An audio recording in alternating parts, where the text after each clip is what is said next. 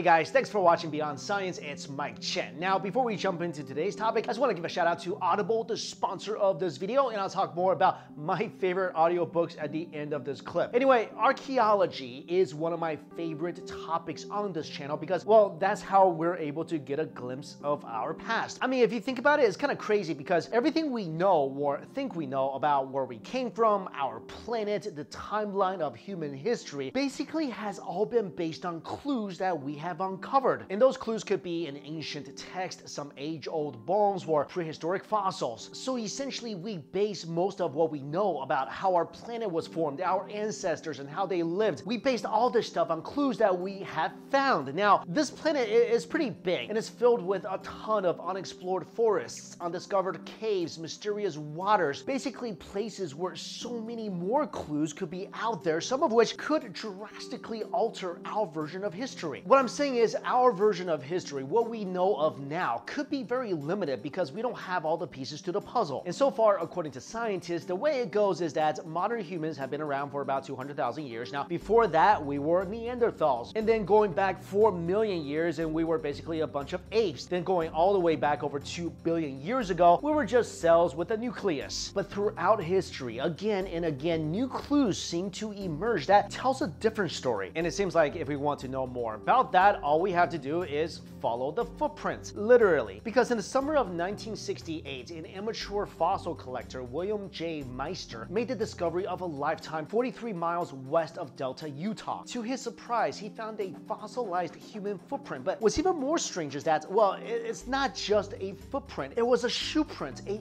modern shoe print with a heel about the size of a US 13 shoe. Now, finding a shoe fossil, okay, that's not all that uncommon because, well, our ancestors had shoes, but this particular fossil is that of the shoe stepping on a trilobite. And if you don't know, trilobites were small marine invertebrates and they're related to crabs and shrimps. And what makes this incredibly important is that, well, trilobites only existed between 260 to 600 million years ago. Now that goes against a lot of textbooks because currently researchers believe humans emerged 1 million or 2 million years ago and really only began wearing shoes a few thousand years ago. Now as one might expect, this sent shockwaves to the scientific communities with excitement for a new paradigm shift as well as skeptical denial. Now after discovering the fossil, Meister took the rock to Melvin Cook, a professor of metallurgy at the University of Utah who suggested he show it to the university's geologists. But according to reports, none of the geologists were willing to examine it. So Meister took it to a local newspaper called the Desert News, and news of his finding quickly spread around the country. The fossil was presented on March 1st, 1973 in a creation evolution debate at California State University in Sacramento. The creationist team included Dr. Duane Gish of the Institute for Creation Research and Reverend Boswell of a local Sacramento church. The scientific team consists of Dr. Richard Lemmon of the University of California at Berkeley and Dr. G. Ledyard Stebbins of the University of California at Davis. Reportedly at the debate, Reverend Boswell said, I have here something that pretty much destroys the entire geological column. It has been studied by three laboratories around the world and it's been tested and found valid. It represents a footprint that was found at Antelope Springs, Utah while digging for trilobites. The man was digging for trilobites and these are trilobites here and here embedded. This is a brick mold of a trilobite footprint, of a human footprint with a trilobite in it. The man stepped on a living trilobite, thus burying him in the mud. This particular strata is dated Cambrian, supposedly 500 million years extinct before man arrived on the face of the earth. The interesting thing about this photograph is that there is also heel marks, which would indicate that they were made by modern man. Now, this was not the only time fossil of what looks like a modern shoe has been found. On January 15, 1917, Albert E. Knapp, an employee of the Nevada Mining Company, found a fossil of the heel of a shoe, dated around 225 million years ago. The fossil was found among some loose rocks when he was descending a small hill in the Fisher Canyon in Nevada. The rock was later examined by an expert geologist at the Rockefeller Foundation where it was confirmed that the rock is undoubtedly limestone from the Triassic period. Also what was amazing was that the age-old shoe sole print bore a well-made leather stitched by a double row of stitches. And as you can see here, the twists of the threads are clearly visible. This of course puzzled researchers because, well, double stitching done with such refined threading, I mean that's something that wasn't implemented till 1927. Also in 19 1997, a fossilized shoe print was found in Urumqi City in China that measured 10 inches long. The fossil was estimated to be around 200 million years old. Now, whether you choose to believe that these are really footprints of modern humans from hundreds of million years ago or not, that's really up to you. But clues like this have been found all around the world. And to me, just because they're really not lauded by mainstream scientists, doesn't diminish their existence. Also, of course, this is my own personal opinion. I feel like it's really pompous to think that, yes, we have everything figured out. Like, modern humans emerged out of Africa, went around the world, and that's it. But that theory is even constantly debated even today. Also, skeptics of these fossils basically say, well, 600 million years ago, uh, there's just no humans. There's no humans, there's not even vertebrates. And skeptics of the fossils will say that, of course, hundreds of millions of years ago, humans didn't exist, bears didn't exist, vertebrates were not even evolved yet, so th these cannot be actual human footprints. I, of course, mentioned in previous videos that personally, I believe that advanced human civilizations have existed in a distant past, and they may have even been much more technologically advanced than we are right now. And that would explain a lot of the structures that we don't feel like could have been built, like the pyramids or Stonehenge. It just makes sense to me. But I would love to know what you guys think. Do you believe these footprints are from real human beings from hundreds of millions of years ago, or do you think it just formed naturally? Let me know in the comments below. And guys, like I mentioned, this video is sponsored by Audible. And personally, I, I love using Audible because it kind of saves my life. And the reason is, and I mentioned this before as well, when I drive, like even if it's for like an hour or an hour and a half, I get sleepy 20 minutes in. And I've tried everything. I tried slapping myself. I tried sticking my head out the window like a dog. Nothing really works. So then I tried audiobooks and that actually works for me. I mean, just listening to the story, it keeps me engaged, keeps me interested, keeps me awake. And I love using Audible because it actually saves me a lot of money because I do listen to a lot of audiobooks. And this year, instead of just listening to like vampire novels, that's what I did basically all of last year, I'm actually trying to improve myself through audiobooks. So I'm trying to listen to books that actually uh, might teach me something. And right now I'm listening to the book You Are Now Less